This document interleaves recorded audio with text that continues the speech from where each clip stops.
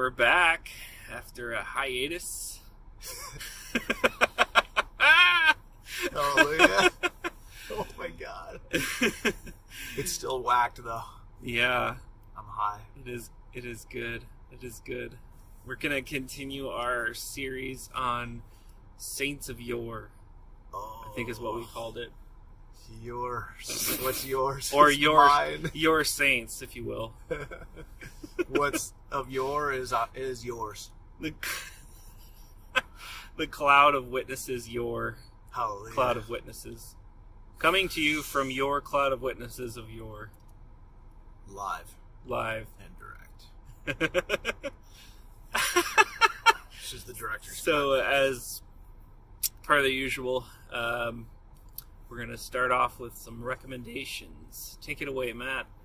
Oh my god, I gotta tell you people, if you haven't connected with some vintage Toronto blessing material, where where have you been? I I kid you not. Uh, I've been getting lit again off of something I've been drinking from for like more than a decade. Just the old John Scotland at Toronto in like '95 video. You know, usually we do a book and a music recommendation, but this video is all that rolled up into one. And more. All that and a bag of bliss. Roll up. So, how do you find this? You might be asking yourself. You go on YouTube and you just type in John Scotland Toronto Blessing. And uh, I think it's the second video that comes up because it just, oh, the title of the video is just Toronto Blessing. And mm. this is the stuff, you know, it's so hard to find any of the original footage from the old days of Toronto because it was so whacked. It's like, have you ever been so whacked that later on you're like, I don't know if I should have been that whacked? like, have you ever gotten that high that later on you're kind of embarrassed? Well, it's that kind of footage. But actually, there's so much heavenly bliss on it, and and for you preachers out there, it's like gospel glory preaching 101 like how to attempt to minister on when you're absolutely slammed. Sometimes you have to go back to the roots. Yeah, and it really is like this stuff was like the portal of glory for North America's whack awakening. Of course, that's Jesus, uh, but Jesus was really revealing himself in Toronto in ninety whatever's it was. And so anyway, that's my recommendation for the week. Super good. Look up Toronto Blessing John Scotland on YouTube. It's a book and music all rolled up into one. Thank you, Lord. Uh, So this, speaking of rolled into one, Yes, t- yes. we are going to continue our Saints of Yours series uh, with St. Patrick. There's so much glory on St. Patrick, and we've been excited to unpack his life ever since St. Patrick's Day. That's taken us a little bit now. It's been over a month since we celebrated that holiday, but um, yeah, we said, you know, St. Patrick's Day is coming up. Why don't we do St. Patrick? So here we are, one month later, catching up. But uh, anyway, if you haven't looked into St. Patrick, let's just take a big old drink off of St. Patrick today. Hallelujah. The glory that he walked in and what we can learn from and what we can walk in. Like Mm. we've said before, any of these saints that we're looking into, we started with St. Anthony and we're going to kind of move down the timeline of history. Uh, so St. Anthony was one of the earliest like mystics of the church. And uh, right up there is St. Patrick, uh, ministered in like, what is it, like 300 and something? It was like late 300s.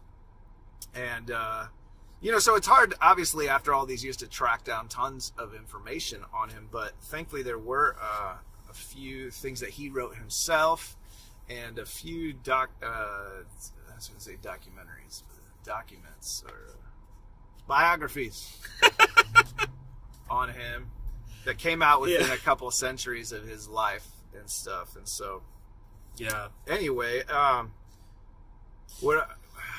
Yeah. You want to say something? Yeah, we definitely can get a gist for who he was based on the secondhand accounts.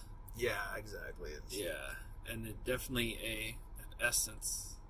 Yeah, like any of the saints, you know, it's uh, you gotta sort through it a bit. But some of the things that we have for sure seen uh, from the life of Saint Patrick is number one, opinions. Oh no, that's, that's something else. Uh, no, Saint Patrick was big into power encounters. That's one. Um, just his boldness, like he uh, he would, you know, he he wasn't born in Ireland, and yet he went to this completely uh, foreign land, where it looks like initially he was uh, sold into slavery, um, but then he somehow got out of slavery miraculously by the hand of God, went uh, back to England and back to Europe, and then eventually returned to Ireland with just this boldness in his heart to to see the whole country come to Jesus. And so, you know, he's the he's the patron saint of Ireland, um, and saw that nation like, uh, along with a few others that don't get as much credit, but really saw a whole nation turn to God, and uh, so many cool power encounters, so many cool miracles, and so, um, yeah. What what else do you do, do you summarize? I don't know. Well, yeah, I just to add to what you were saying, I actually saw that he was he he was first he first came into Ireland in, as a slave, right? And then he and then and then he got free and it was gone for a long time, and then he came back to where he was a slave. Yeah, like it's pretty awesome to do ministry, and yeah. he would he would he would say they they had this thing that they said about him is probably you know it, it could have been true, which is awesome. But he he they said he preached so patiently mm-hmm. that he would plant his walking stick. Oh yeah. Made out of ash wood in the ground, and by the time he was done preaching, so patiently, it had stuck into the ground and it had begun to sprung roots. That's cool. So that that, that I think epitomizes like Saint Patrick because it's like he was he was a he was a, a naturalist of sorts, like kind of like Saint Francis. He was he was very in tune with nature. He was a very um, he was a very he was he's a man of like he was pastoral, but he was a man of like solitude and nature as well, as you see with some of these. And um, he was just like that patient, uh, silent uh, miracle worker. Like uh, people would just come to witness his presence like that, you know. So uh, that is so true. Brother. Yeah, the the animals and the plants and trees and stuff. He was really big into that. You know, they he had the whole the whole thing with the the you know he was he's very into practical. Like I said, pastoral earlier, but he's also into practical lessons, practical theology. Um, he you know his his classic teaching was, you know, someone would ask him, how can uh, how can God be three three different people but the same God? And then he would he would pluck a clover out of the ground and he would he would say, "How many leaves does it have?" And they would say, "Well, it has one leaf, but three. And he said, "That's that's what God is." Oh yeah, like the old shamrock thing. The shamrock thing. Yeah. That's what I was going to point out too. He's extremely Trinitarian, one of the earliest, oh, yeah, like, yeah. clear voices of Trinitarian uh, theology, which is so awesome because, uh, you know, um, the early, you know, a few hundred years of the church, they were really getting clarity on what what was the important things that Jesus taught and that Paul taught, and like what were the, you know, some of the foundations of the of the faith. And uh, yeah, like you said, you know, using the shamrock and just continually talking about the Trinity. Um, and that's still seen today as a strong point in in Irish uh, history is just that Trinitarian life, and even in their artwork, and uh, and so much of that influence is still there. But um, I thought maybe we could read through a few stories and then give our comments. Um, how many of you love stories? Just raise your hand out there. Uh, there's a lot of good insights in the uh, in the stories, um, the biographies of Saint, of Saint Patrick, and so I'm just going to read some of this is long. I wrote some of this out, but because there's so many power encounters, and that's what most of these are. Um, it's just so many cool things. I, I think it's a it's a time to uh, embrace power encounter, power release. Like we're seeing, you know, a pandemic right now. This is recorded during the COVID crisis. And if you're watching this, man, I think you can really gain a lot from this and just releasing the power of God, even if it's just over your own life and your own household, to see uh, just massive protection from all ills of this world. But let's check this out and see. There's some inspirational stuff in here. Not least of all, anxiety. Amen. Come on. Uh, whoa, whoa, whoa, okay. On Easter Day, when the kings and princes and druids were at table with Laguirre, for this was their greatest feast day, eating and drinking wine in the palace of Tara, some of them talking and others thinking about things that had happened. Holy Patrick, with only five companions, entered through closed doors as we read about Christ, in order to vindicate and preach the holy faith at Tara before all nations. As he entered the banquet hall of Tara, none of them rose to welcome him, except only one man, Dubhach Maku Ligur, an excellent poet. With him was then in that place a young poet named Fiach, I'm butchering these names, I'm sure, who afterwards became a renowned bishop whose relics were revered in Slebde. This Dubhach, as I have said, alone among the pagans rose in honor of Holy Patrick, and the holy man blessed him. And he was the first on that day to believe in God, and it was counted to him for righteousness. When the pagans had perceived Patrick, they asked him to come eat with them in order to put him to the test, as I will relate. He, however, knowing what was to come, did not refuse to eat. So first of all, he walks in through the doors like Jesus in his resurrected day. Dude, there's a lot of whack. Doesn't even you don't even need doors. Holy Spirit. Anyway. now, while they were all eating, the druid Luchet Mael, who had taken part in the conflict on the holy previous night, was anxious even on that day, now that his colleague had perished, to fight against holy Patrick. And as he started, he put a drop of poison from his cup into the goblet of Patrick. Uh oh. Well, the others looked on in order to find out what Patrick would do. When Holy Patrick saw the kind of test to which he was being subjected, he blessed his goblet in the sight of all, and the liquor froze like ice. Then he turned his goblet upside down, and only the drop which the druid had added fell out. then he blessed the goblet again, the liquor resumed its natural state, and they were all greatly astonished. After a short while, the druid said, Let us work miracles in this vast plain. And Patrick replied, saying, What sort of miracles? And the druid said, Let us bring snow over the land. And Patrick said, I do not want to bring anything, I do not want to bring about anything against God's will. And the druid said, I shall bring it about in the sight of all. Then, uttering some spells, he brought snow, reaching up as far as a man's belt over the entire plain. And all saw this and were astonished. And the holy man uh, said, All right, we see this. Remove it now. And the druid said, Until this hour tomorrow, I cannot remove it. And the holy man said, You can do evil and cannot do good? Not so I. Then he blessed the plain all around, and in no time, without rain or mist or wind, the snow vanished, and the crowds cheered and were greatly astonished and touched in their hearts. And a little later, the druid, through the invocation of demons, brought a thick fog over the land as a sign, i.e., miracle. And the people muttered angrily, and the holy man said, Remove the fog. But again, the other was not able to do so. The holy man, however, the holy man here is Patrick. We haven't figured that out however, prayed and blessed the place, and the fog was dispelled at once, and the sun shone again, and all the people cheered and gave thanks. After this contest between the Druid and Patrick in the king's presence, the king said to them, Cast your books into the water, and he whose books remain unharmed, him we shall adore. Patrick answered, I will do so. But the Druid said, I do not want to undergo a test of water with him, for water is a god of his. Uh, he had heard no doubt that Patrick baptized with water. And the king replied, Agree to ordeal by fire, then. And Patrick said, I'm ready to do so. But the druid did not want to, and said, This man worships every second year in turn now water and now fire as his God. So the and the holy man said, Not so, but you yourself and one of the boys in my service together with you shall go into a divided and closed house, and you shall wear my garment, and my boy shall wear yours. And so you two together shall be set on fire and judged in the presence of the highest. And this plan was accepted and a house was built for them, half of green wood and half of dry wood.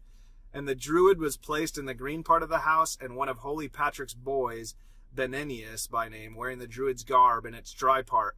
Then the house was closed from the outside, and in the presence of the whole crowd it was set on fire. Wow. And in that hour it so happened that through the prayer of Patrick, that the flame of fire consumed the druid together with the green half of the house, and nothing was left intact except the chasuble of holy Patrick, which the fire did not touch. The other hand, happy Beninius and the dry half of the house experienced what has been said of the three young men, uh, you know, like Shadrach, Meshach, and Abednego's. The fire did not even touch him and brought neither pain nor discomfort. Only the garb of the Druid which he had donned was burnt in accordance with God's will. And the king's anger was aroused against Patrick because of the death of his Druid, and he was on the point of attacking him, wishing to take his life, but God held him back. For at the prayer and the word of Patrick, the wrath of God descended upon the impious people, and many of them died. And holy Patrick said to the king, If you do not believe now, you shall die at once, for the wrath of God has come down upon your head. And the king was in great fear, his heart trembling, and so was his entire city. Hallelujah. So anyway, that's the story. I'm going to read one more. Um, shakalaka. I shall not, this is from his biography. It says, I shall not pass over in silence a miraculous deed of Patrick's. News had been brought to him of a wicked act by a certain British king named Cortic, an ill natured and cruel ruler. He had no equal as a persecutor and murderer of Christians. Patrick tried to call him back to the way of truth by a letter, but he scorned its salutary exhortations. When this was reported to Patrick, he prayed to the Lord and said, My God, if it is possible, expel this godly man from this world and from the next. Not much time had elapsed after this when Cortic heard somebody recite a poem saying that he should abandon his royal seat, and all the men who were dearest to him chimed in. Suddenly, before their eyes, in the middle of a public place, he was ignominiously changed into a fox went off, and since that day and hour, like water that flows away, was never seen again. anyway, that's probably enough of those for now. But there's so many power encounter stories like this in the biographies of St. Patrick. Stuff that he was walking in. And uh, do we think maybe a little bit of it was exaggerated, as in many of these saint uh, stories? Probably some of it, but there's so many stories in here that even over you know the years, uh, I mean, how much of that is really true? I my spirit resonates that a lot of it is probably true, and uh, how crazy is that, man? Um, now, in in reading back, I mean, I don't know some of the the things that I get out of it is, I mean, obviously, like uh, signs and wonders were so normal in his life. I think that's amazing. I think that's something we drink from now and just continue to partake. That we can literally uh, you know walking some of this stuff where most Christians are kind of still like you know a little afraid to pray for their buddy who has a cold or something lay hands on somebody. St patrick is freaking you know changing snow ma- making snow disappear fogs you know turning people into foxes and uh, you know transforming nations. So i think there's some massive massive glory that we need to like consider that's in us. Um some of the negative stuff. I, I, I, I think I don't think we need to embrace uh, like all of the hellfire and like you know cast them from the earth or you know a lot of the times in Patrick's power encounters people would die or burn up with fire like the one we read about. Like I think we could do you know so many uh, compassionate miracles um, and though like I I have no fear of like you know if if uh, God wants to do something, you know, uh, I, I don't want to put God in a box, but I think, you know, as we know of our Father, He's so compassionate and so loving, and and so I think that's something like over the centuries we we want to, uh, you know, become crazy power encounter folks, but not like uh, these like guys that everyone's just terrified of. You know, I don't know. You got any yeah. comments on these stories and stuff? That's good. The one thing I thought of was um, how much more touched and affected the people were by the restoration than they were by the the the first miracle itself. So like they were they were not that affected by the snow and if anything negatively affected but then they they were extremely touched in a positive way when he made the snow go away and i just i guess for me it was like i was just feeling that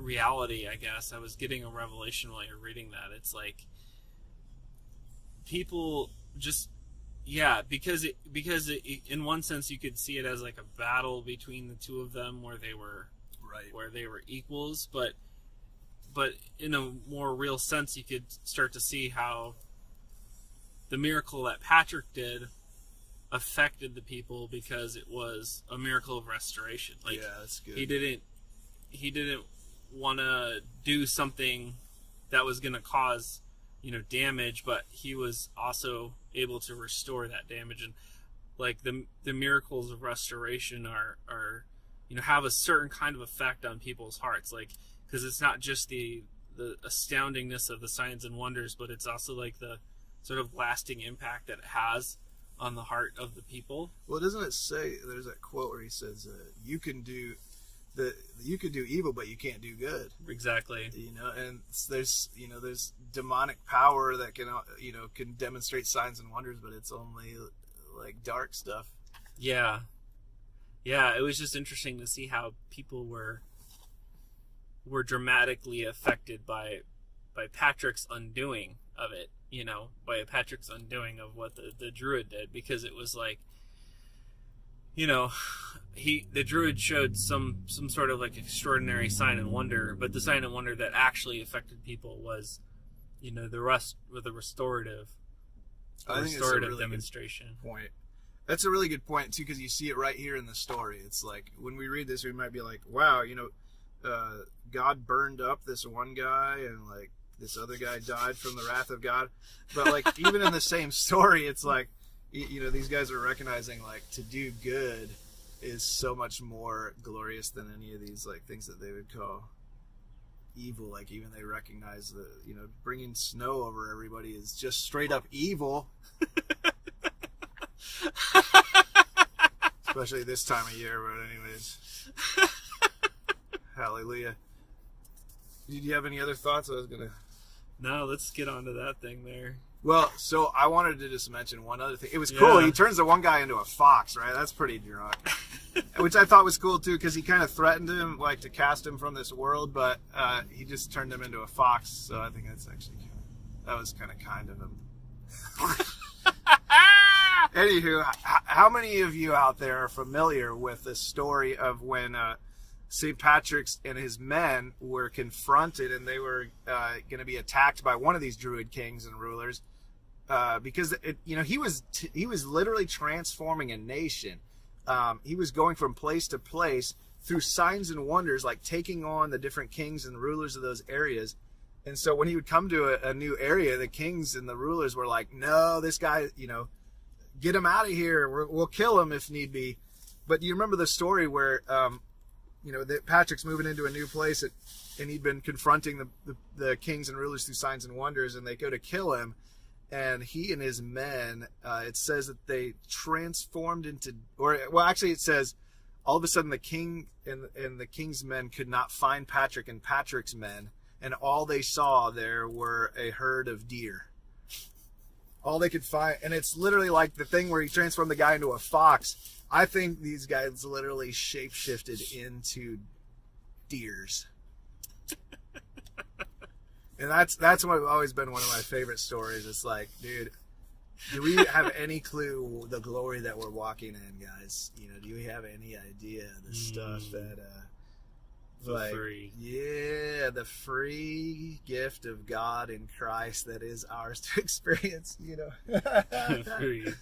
like a story like that is so drunk.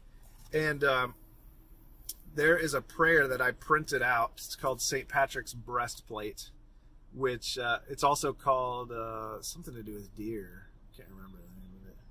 Oh, I didn't see that. The I don't know whatever it's called. There's different names for it, right?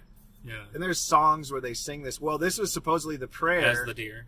as the deer panteth for the water brooks. Uh, they say this is the prayer that St. Patrick and his men prayed be- before they were transformed into deer. And so, and I can't remember where this one came from, but I, I think this might even be from St. Patrick's own confessions. I could be wrong. But uh, I want to read some of this out, and you can just let this bask over you. We're just going to bask in this reality because there's actually some really good Trinitarian glory in this prayer. And uh, maybe you'll just manifest as a fawn. In your heart, of course. I'm going to try to read. I bind unto myself today the strong name of the Trinity. By invocation of the same, the three in one, the and the one in three. I bind this day to me forever by power of faith Christ's incarnation, his baptism in the Jordan River, his death on the cross for my salvation, his bursting from the spiced tomb, his riding up the heavenly way, his coming at the day of doom. I bind unto myself today. I bind unto myself the power of the great love of the cherubim, the sweet well done in judgment hour, the service of the seraphim. Obviously, this is poetically translated to rhyme and such, but it's stronger that way.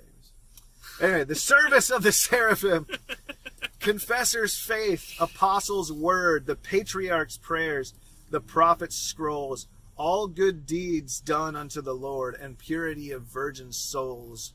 I bind unto myself today the virtues of the starlit heaven, the glorious sun's life giving ray, the whiteness of the moon at even, the flashing of the lightning free, the whirling winds, tempestuous shocks, the stable earth, the deep salt sea, around the old eternal rocks.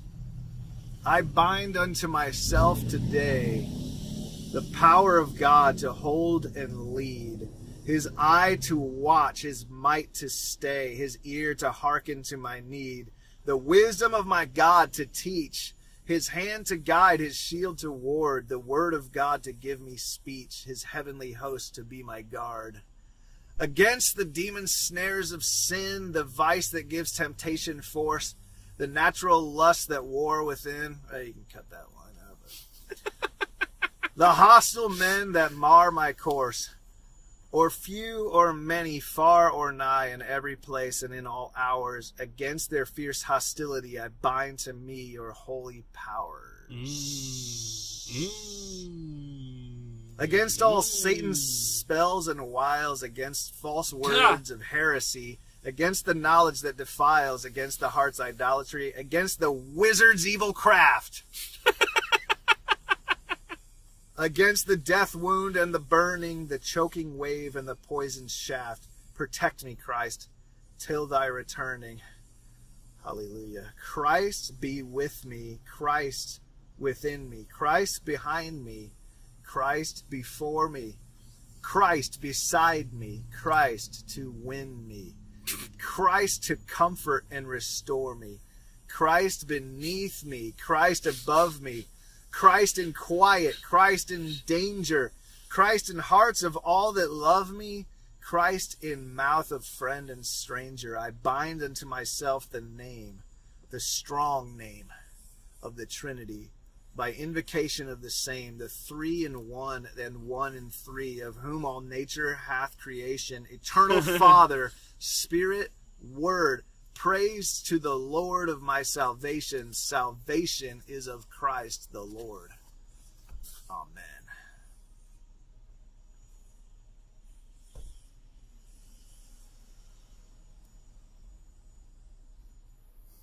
I don't know what else can be said after that. Thank you guys for tuning in.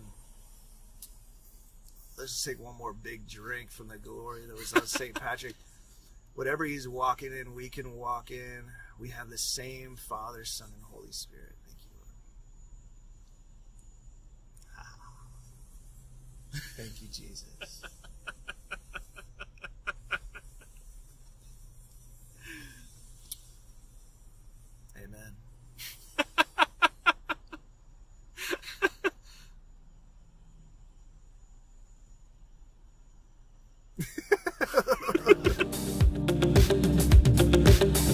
for listening to the High on God podcast with Matthew Spinks and Zachary Paul Pratt. Don't forget to subscribe to the show and check out the accompanying YouTube vlog where we'll have short guided meditations on the glory of Jesus, as well as additional random coverage and updates from the God High. Also, if you believe in the message we're putting out to the world, consider donating or becoming a monthly partner at www.thefirehouseprojects.com slash donate so that we can spread the authentic, inebriating good news of Jesus. Alrighty then, until next time, stay high on the supply inside that never runs dry, Jesus Christ.